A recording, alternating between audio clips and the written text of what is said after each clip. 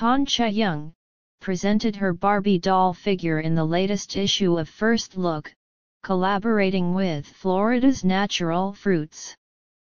New photos of the actress revealed display her posing with tasty citruses such as oranges, lemons, and grapefruits, illustrating an exotic, tropical vibe just in time for the summer season. Han Chae-young is currently receiving much love for her chic, down-to-earth personality compared to her cold, menacing image in her previous dramas, thanks to her appearance on Unnies' Slam Dunk 2.